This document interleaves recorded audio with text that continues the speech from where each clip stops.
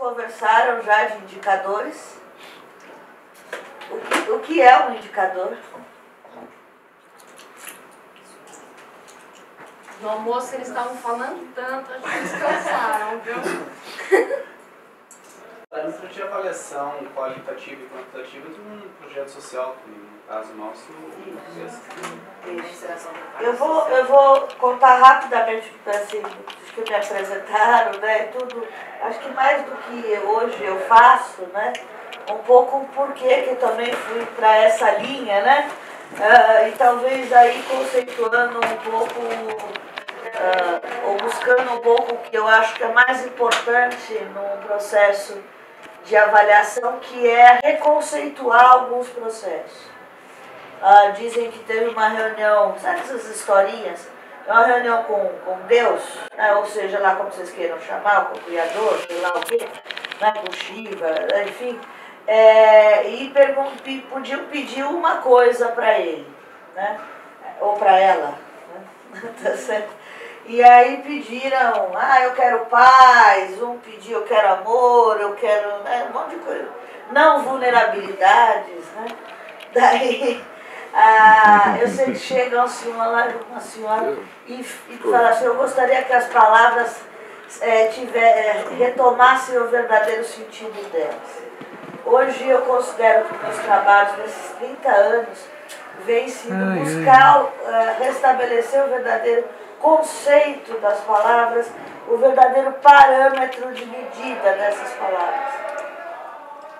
Ah, indicadores, eles são esses parâmetros né, de medição de uma situação. Conceitualmente, você tem duas frentes conceituais interessantes, uma que é europeia e outra que é uma, uma linha americana. Foi se começou a se pensar a medir processos em 1950 só. Aliás, quem tiver curiosidade, em 2010, 2011, a FGV aqui de São Paulo lança um compêndio. Na, vocês têm coisas para anotar? Não percam isso. Tem um compêndio da FGV aqui de São Paulo, dessa época, e que ela conta a história dos indicadores.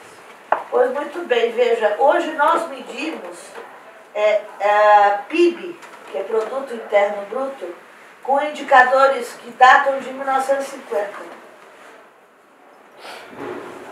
Né? Ora, veja, em 1950 né, começou-se a preocupação com o petróleo no mundo. Né? É, inclusive a Shell elabora em 1950 uma metodologia de análise de cenários futuros. Vocês chegaram a ver, né, quando fizeram meu curso, cenário, cenário futuro ou não? Uhum. É. é. muitas dessas metodologias de avaliação, de mensuração, de criação de indicadores, datam só de 1950. Quando eu falo só de 1950, eu estou falando que a história da humanidade até então não, não tinha uma metodologia universalizada para mensurar, monitorar, avaliar processos. As agências internacionais, é, depois eu vou deixar um material com vocês, eu adoro slide, mas nós temos pouco tempo. Mas algumas agências internacionais de investimento social, ambiental, econômico, né? Ah, só a partir de 1950 é como que conseguiam construir uma metodologia de monitoramento de processos. Então, olha, veja, nós somos muito novos para isso. Muito novos para isso. Até porque a gramática, e eu falo mais especificamente do terceiro setor, mas posso falar gramática de políticas públicas. Né? Quando as questões aí que vocês me trazem, né, na questão da pessoa com deficiência, né, ah, recentemente é que se estabelece pessoa com deficiência né? a partir da LDI, não é isso? Eu sei porque dou consultoria para várias organizações da área de, de, terceiro setor e que abordam. Eu sou assessora e consultora da, da FEAPAZ, né, da SAPAZ do Brasil, já há quase 20 anos. Então a gente acompanha esses processos, estou tentando me culturar aí na conversa de vocês. Mas veja, a questão de pessoa com deficiência é recente. Né? A lei básica de inclusão é recente. Né? Se você for olhar o Plano Nacional de Educação, o que se fala de educação especial, né? que agora, depois da PEC 241, vai poder ser cumprido, né? mas o que se fala de educação inclusiva é muito recente. E o que é inclusão? Né? Como que você define isso? Ora, veja, se eu para achar parâmetros, eu preciso definir essas palavras. Não é o que você considera, o que você considera. É, existe uma normatização por trás disso. Então, a primeira pista que eu posso dar para vocês é os indicadores socioambientais, culturais, é, é, na área de esporte, na área de, de educação, eles não são uh, voláteis no mundo, eles não nascem do nada. Né? Eles seguem uma normatização. E essa normatização ela é orgânica. Vocês entendem isso? Quer dizer, o que se falava antes de deficiente não é a mesma coisa que se fala de pessoa com deficiência. E eu ainda incluo e venho lutando para isso pessoa com deficiência diagnosticada. Porque Asper, por exemplo, tá certo?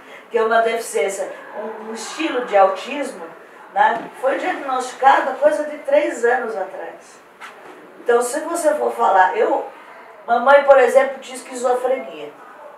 Família inteira. Até hoje não teve um maledeto do médico que me deu um diagnóstico. Né? Era para ter alguma coisa. Né? Não teve nenhum diagnóstico. Né? Agora, é, você imagina como que você pode falar que essas questões orgânicas de descoberta científica, metodológica, elas são muito, elas são muito mutáveis. Mas elas são a nossa base, o nosso parâmetro de reflexão. Então, como que você consegue trazer um norte, uma harmonia conceitual para indicadores? Principalmente baseado na normatização dos territórios. Então não é o que eu entendo como Instituto Olga Costa, aliás, nem agradecer, depois eu faço todas as minhas gratidões. É, é, não é o que a Olga Costa pensa de pessoa com deficiência, não é o que o Ministério da Cidadania pensa sobre isso, ou que a universidade pensa sobre isso, mas é o que hoje está consagrado na política pública ou que está sendo fomentado na mesa. E é com base nisso que a gente vai medir. Ora, por isso que a gente tem que lutar para que as políticas públicas, das quais a gente desenvolve metodologias, possam acontecer de fato. Correto? Então, eu vou trazer aqui para vocês algumas questões conceituais. Vocês, eu vindo aqui no Museu, no museu de Imagens, só você já conhecia? É uma história fabulosa esse espaço aqui. Muitas, ontem mesmo estava dando um evento muito interessante. É, eu fui convidada também, mas não, não pude estar aqui direto. Mas vou trazer aqui um pintor, que é um pintor holandês. Conhece? Mondrian. Mondrian é um pintor holandês bem louco. Aliás, artista é um negócio bem louco. Né? Esse cara Teve uma época que ele encanou com uma árvore. Vocês conhecem Picasso? Certo? É, conhecem Picasso na fase azul dele? Fase azul do Picasso é descrita de uma fase quando ele perdeu um grande amigo dele, tá certo? Que aliás ele até ficou com a, a namorada desse grande amigo. Olha que danado que ele é. Perdeu, morreu, esse, esse cara se suicidou na frente dele. E ele começou a pintar tudo que ele pintava, era em tons de azul, triste. A fase azul, ele encarnou com a deprê dele. Né? Aí teve uma fase do Picasso que era mais militante. Né? Na, na, na, na Espanha, né? na época de Franco, ele pintava, pintou a Guernica e tudo mais, né? Era a fase mais militante. E teve várias fases. Esse, esse senhor, que é o Pierre, Pierre Mondrian, ele é um holandês que encanou com uma árvore. E esse cara é o pintor de arte abstrata mais conhecido no mundo. Ele pintou essa árvore. Já viram? Estão vendo o pontinho? Olha, esse aqui é o pontinho, viu? Pintou esta árvore aqui. Podem falar sem, sem medo nenhum. Podem falar. Eu estou falando que isso é uma árvore para vocês. Podem falar o que vocês têm aí no coraçãozinho, mais íntimo do coração de vocês. Oi, ele fala, mas você está conseguindo. É Bia, né? É Bia? Sabe o que eu fiz agora? Indicador de vínculo. Quando eu lhe chamo pelo nome, tá certo? Eu uso de um parâmetro de vínculo. Nossa, ela lembrou do meu nome. Isso reduz vulnerabilidade. Já já falamos disso. Isso é uma árvore, eu falo pra você. E você? Poxa, cara, você fica até meio constrangida, né? Tô me conhecendo e tal. Pô, a pessoa acha mesmo que a minha filha não faz algo melhor do que uma árvore como essa. É. Pois muito bem, o tal do Mondrian, ele viu uma árvore parecida como essa, né? E ele foi mostrando os vários olhares, são mais de 200 telas, e, durante muito tempo da vida dele, ele passa a mesma, a mesma encarnação, gente. Foi a mesma encarnação que ele teve. Durante muito tempo, ele passa a retratar vários olhares dessa maledeta, dessa árvore. Até chegar ao quadro de arte abstrata mais famoso que existe no mundo. A arte. Eu trabalho há 30 anos no terceiro setor, com projetos sociais. E hoje sou avaliadora de projetos de investidores nacionais e internacionais. E por isso que minha especialidade foi mensurar né, processos, criação de indicadores e tudo mais. Principalmente de políticas públicas e de investimento socioambiental. É, quando eu recebo alguns projetos, e geralmente quando a gente recebe projetos, a pessoa já nos entrega falando, eles são muito bons. Quem sou eu, né, na minha parte ignorância, para falar que não são? Mas de verdade, de verdade, a sensação que eu tenho é que eu estou recebendo isso, essa. É totalmente abstrato o que é muito bom. Ah, o nosso trabalho lá na universidade, eu imagino que sim, gente, não estou Mas é muito bom o que fazemos lá. De verdade, eu não fico com o pé atrás, não. Mas é abstrato. Né? As nossas são muito boas, mas é abstrato. Quem aqui é casado? Levanta a mão. Deus abençoe vocês. Quem está amando?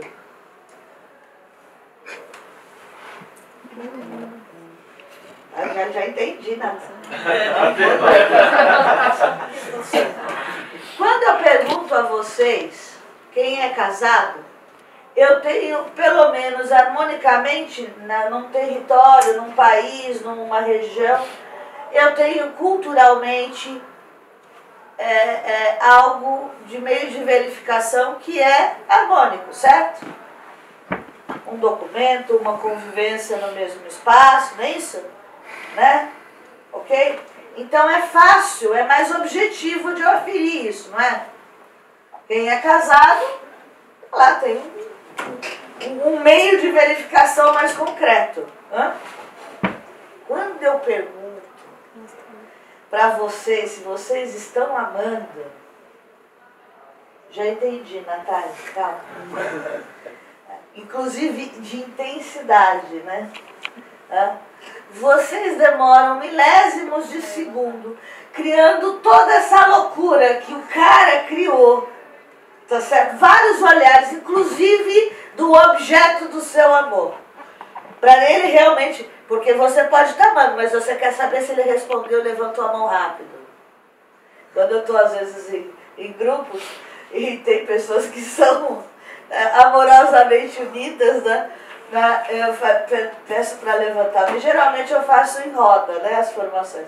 Mas é batata. A pessoa está olhando, tá certo? Para ver o quanto que ela demorou para essa intensidade, né? Aí, por isso que minha esposa não vem mais nas minhas palestras. Eu pouco levanto ela, tem que levantar também, caramba. Amor é muito abstrato, não é? é? Medir, como que você escala do amor? É extremo, é isso, não é? É isso daqui. É a escala do fã, não é? E assim, de verdade, né?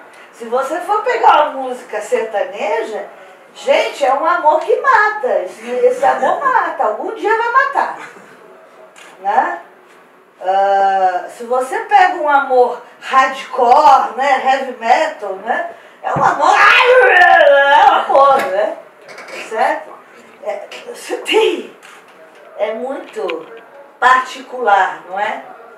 Pois muito bem, vocês sabem que teve um cidadão, que é um rei, num paizinho chamado Butão. Não é o Butão, Butão. É, Butão é um paizinho que fica perto do Tibete e da China. E esse rei, ele falou assim, pois muito bem, eu não vou medir a riqueza do meu país pelo PIB, Produto Interno Bruto. Ou seja, eu não vou medir o sucesso ou a riqueza no meu país por quanto eles produzem. Preste atenção, Ministério da Cidadania.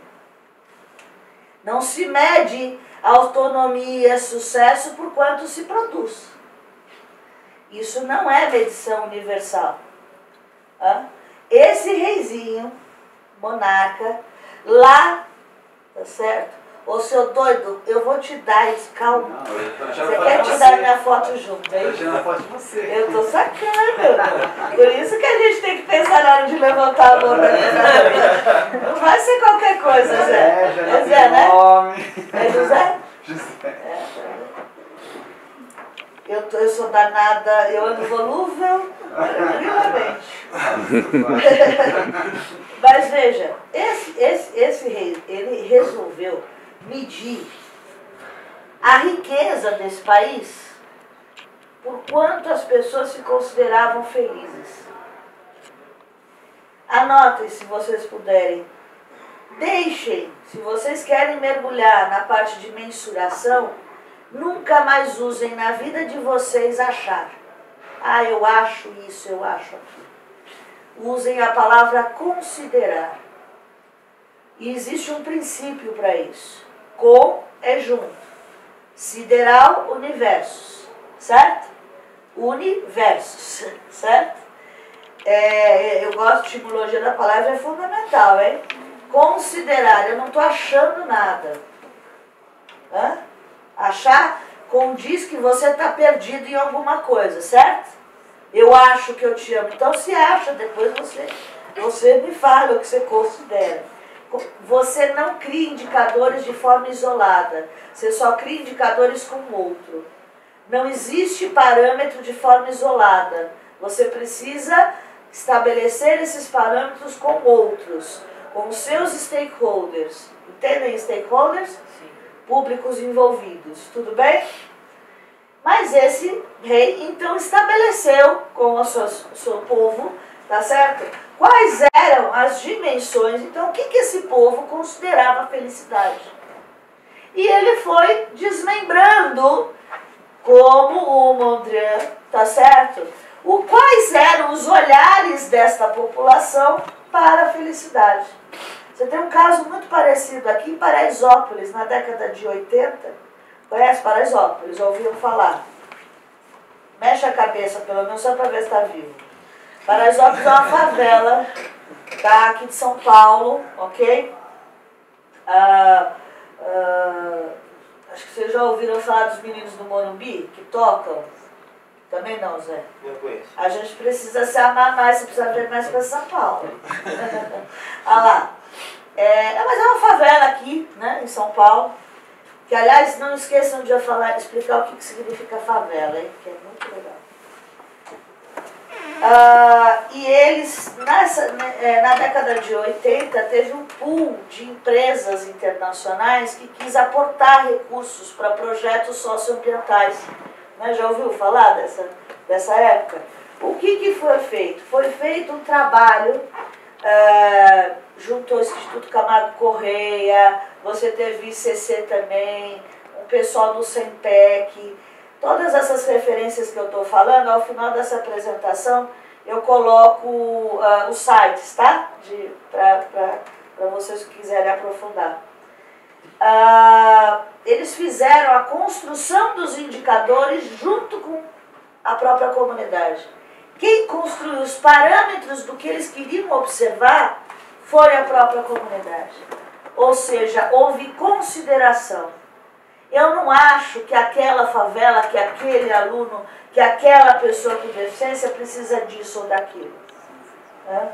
Mas eu considero, ou seja, eu estabeleço parâmetros de forma coletiva. E isso dá precisão, propriedade para esses parâmetros. Se eu acho que eu amo e a outra pessoa acha que ama, pode ser que esses amores nunca se encontrem. Se a gente considera esse processo de love, ok? Né? Isso fica muito mais assertivo, tem muito mais propriedade. É considerado isso, né? Então esse rei criou isso. Vocês já ouviram falar do Doutores da Alegria? Sim? Doutores da Alegria, essa organização na qual o Wellington foi presidente, fundador, meu companheiro aí na luta Uh, a gente trabalha já há muito tempo também junto. Uh, eles criaram um índice da felicidade para medir o verbo de ação do que eles fazem. Outra questão técnica. Como é que você estabelece a situação que você quer observar? Pelo melhor verbo de ação que você tem. Se no projeto você está dizendo que você vai ensinar a ler, é diferente do que você vai contribuir para a educação. Compreende? A medição é diferente, não é?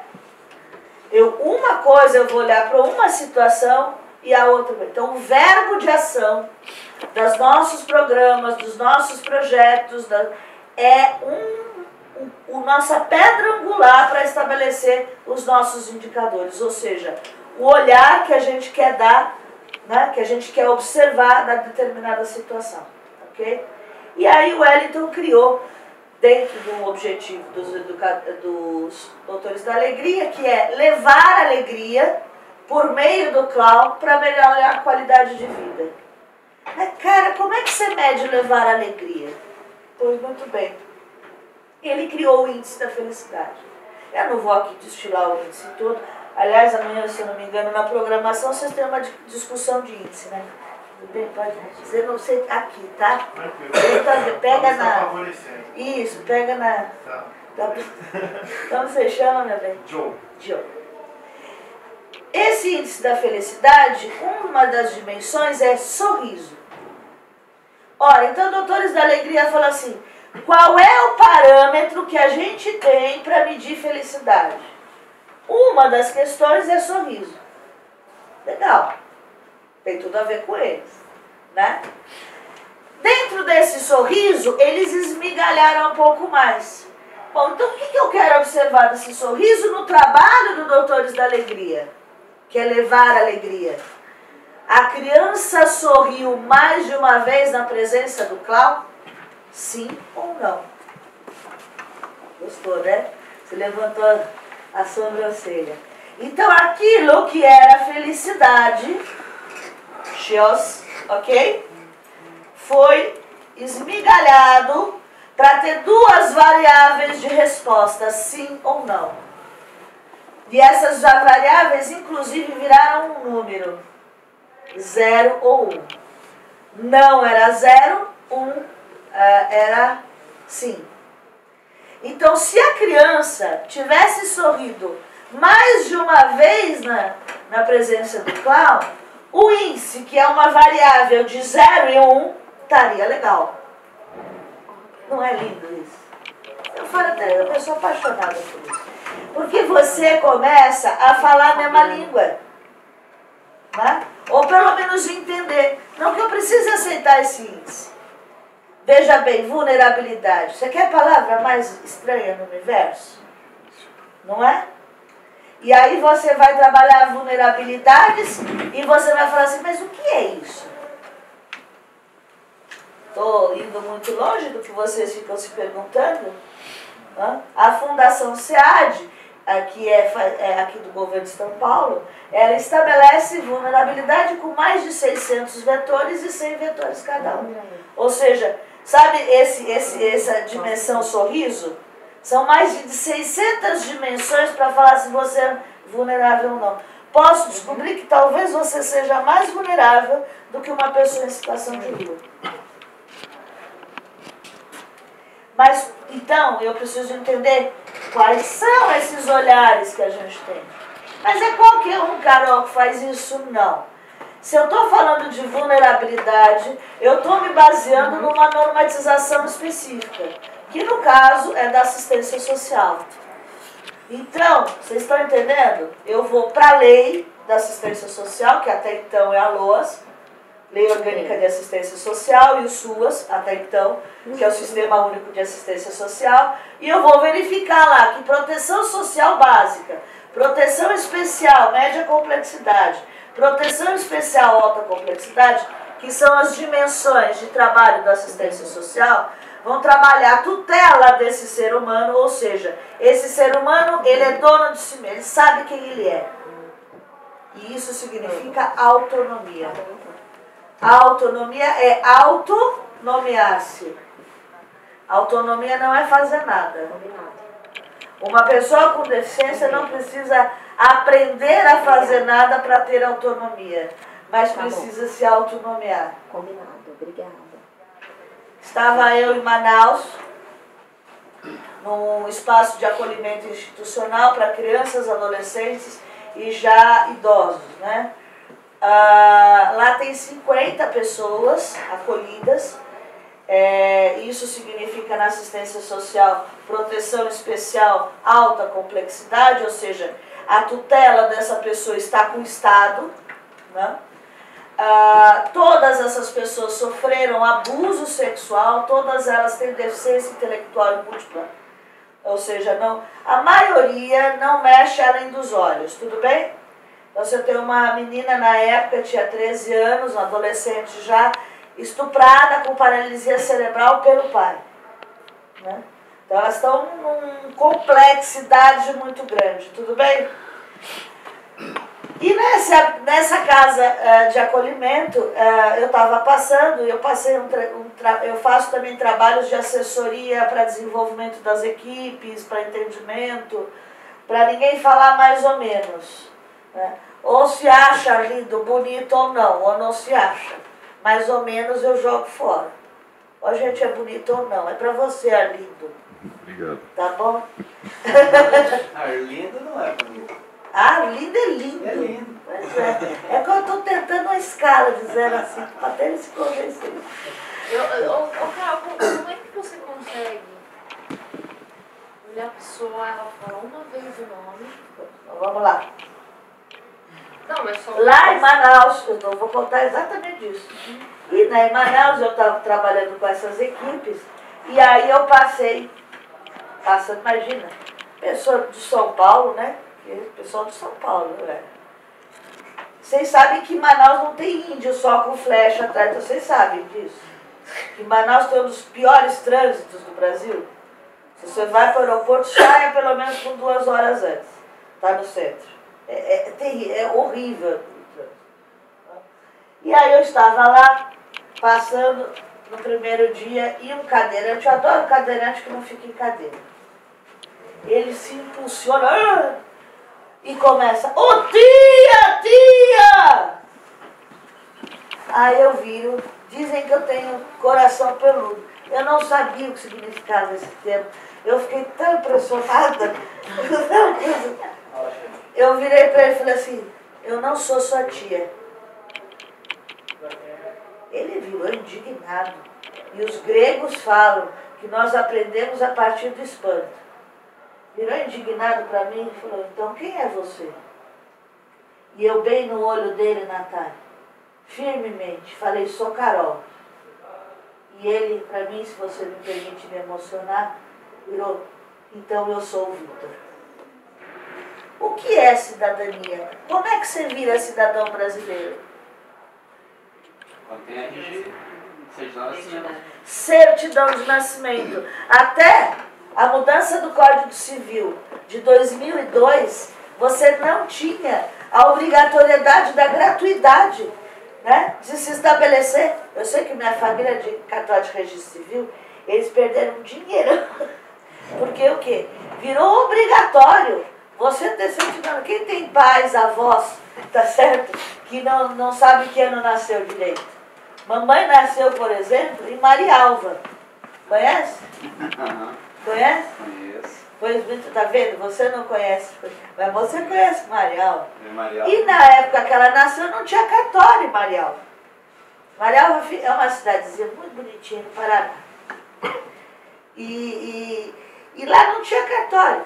Então, ela foi registrada em outra cidade. Depois, quando abriu o cartório, ela fez questão de registrar. E para saber qual, era a data de nascimento dela. Eu falei, ela sempre enganou. Sempre. Mamãe era uma esquizofrênica danada, daquele jeito que todo esquizofrênico tinha que ser. Tá certo? Mas muito bem. O que tem na certidão de nascimento? Quais são os parâmetros que existem, indicadores que existem na certidão de nascimento que te faz ser um cidadão?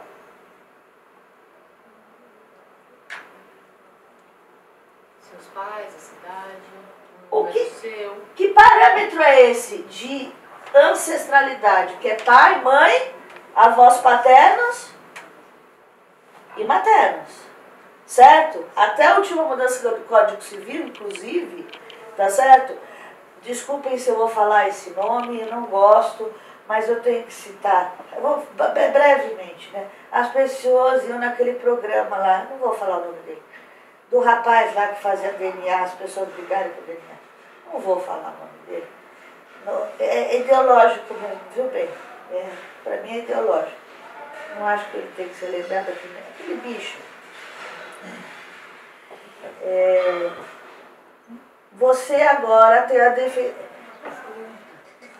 Judiação desse moço, né? O que, que ele está ganhando na vida? Bom, mas enfim. Mas voltando aqui, então tinha toda aquela briga no programa dele para pegar DNA, não era? Tá certo? Agora não precisa mais. Porque você pode ir numa defensoria pública ou no Ministério Público e buscar o reconhecimento da paternidade. Mas por que, que isso é importante, gente? O que, que reconhecer a minha ancestralidade me faz ser cidadão?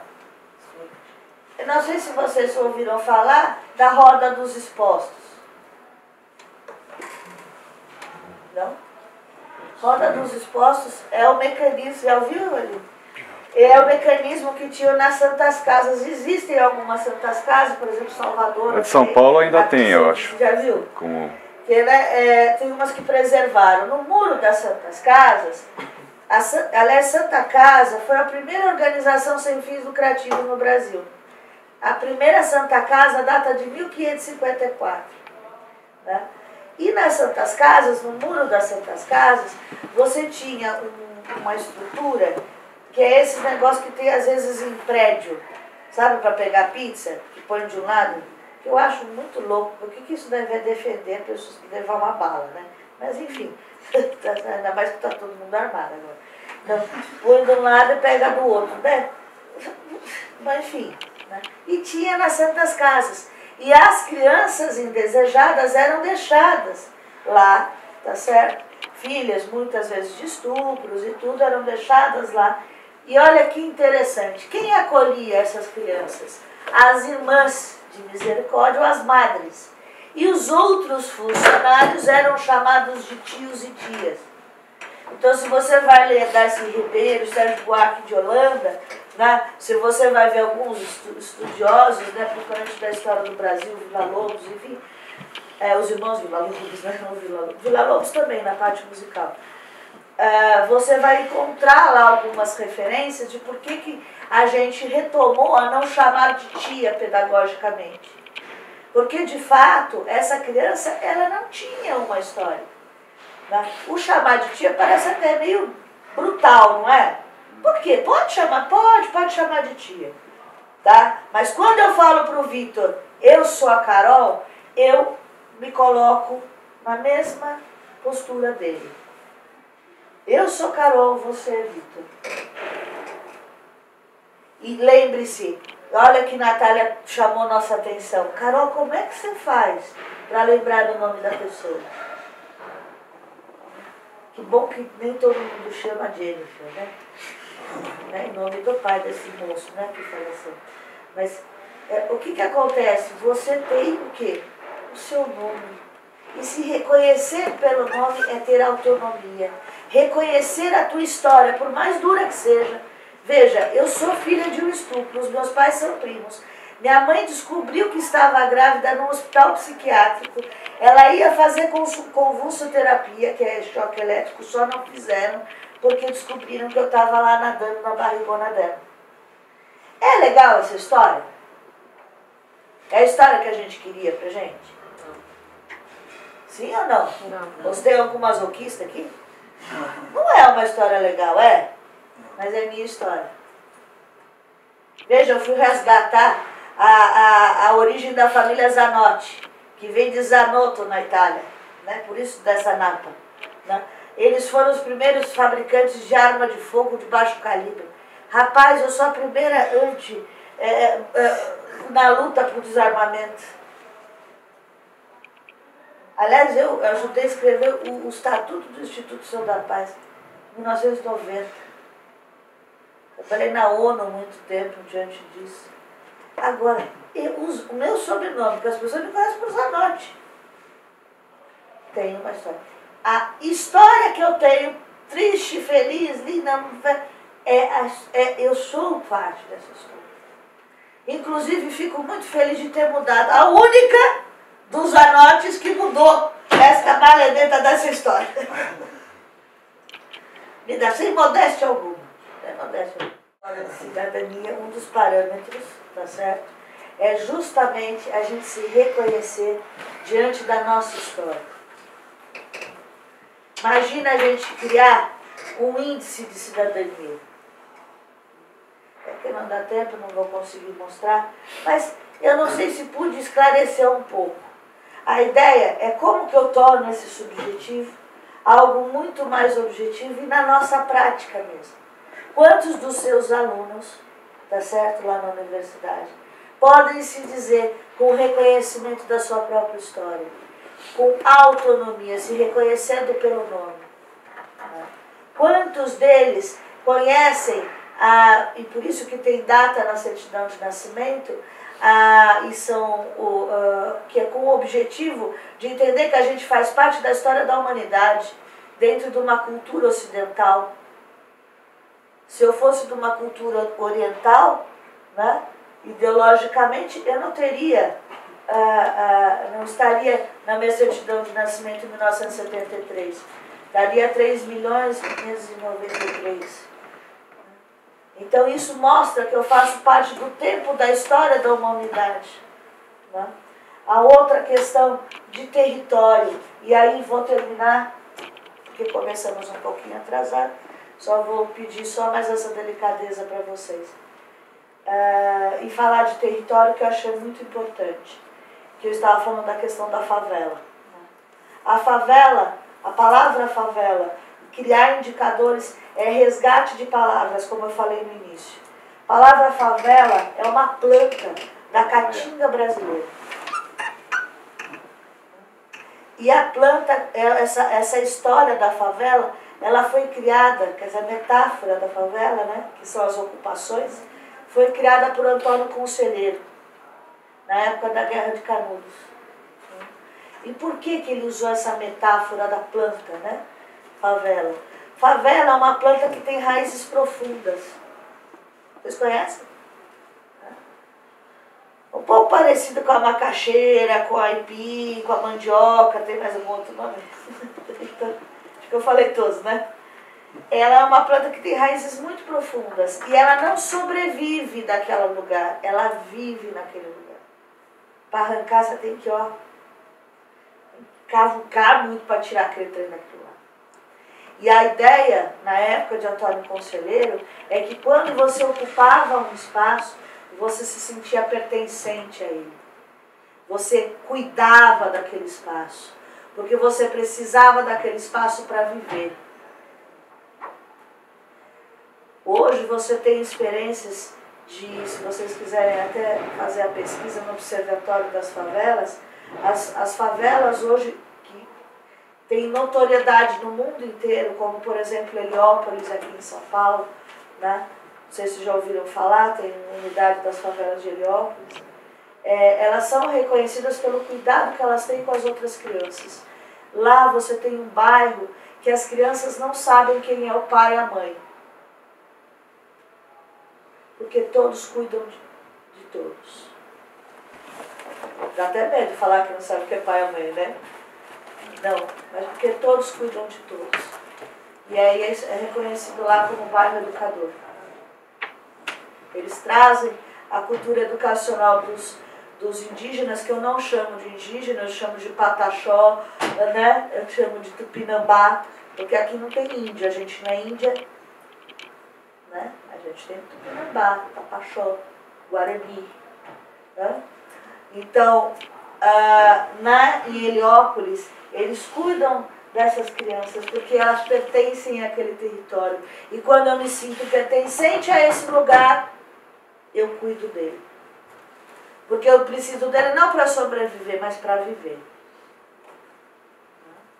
E a outra coisa na favela, e aí eu termino, tá?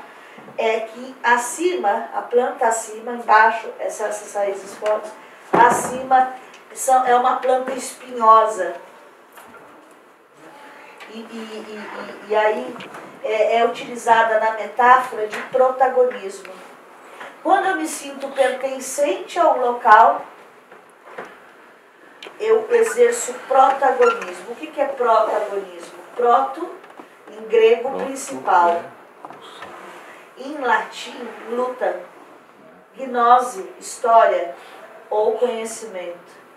Então, quando eu me sinto pertencente ao local, eu luto por aquilo, pela, com a minha própria história. Cidadania é isso. É? E não sou eu que estou falando. Eu só fui resgatar as palavras. Resgatar da onde? Que não, na normatização me faz ser cidadão, no caso, certidão de nascimento. Então, a investigação, que é o D, eu chamo a DR do amor, né? Sabe aquela DR do amor? O que, que você, qual que é o seu parâmetro, qual que é o meu parâmetro? Para tornar o que é esse subjetivo em indicativos objetivos para ambos. Né? É, não sei se pude contribuir o tanto que vocês mas foi mesmo aqui para talvez provocar alguma coisa. A minha ideia não era trazer paz. Se eu não trouxe, fico feliz. Mesmo assinando paz e bem, um pouco provoco na minha provocação. Tá bom? Peço desculpas, agradeço demais o convite. Vocês fizeram né, o meu curso aí da semana. Primeira semana primeira semana de maio. Eu dou cursos no Brasil inteiro, América Latina, agora eu sou representante da OEA na parte de indicadores. Né? Recebi esse, essa comenda que fala, tá certo? E a minha, a minha, minha bossa mesmo é criar indicador, por exemplo, com pessoas em situação de rua. É, você ir lá na rua e perguntar o que, que é vida boa para você. Porque o que é vida boa para mim não é a mesma coisa para E aí a gente, nessa construção, a gente vai vendo o que de fato é aquela árvore lá e não essa loucura, tá certo? Que até dá medo de falar que você não acha que é árvore.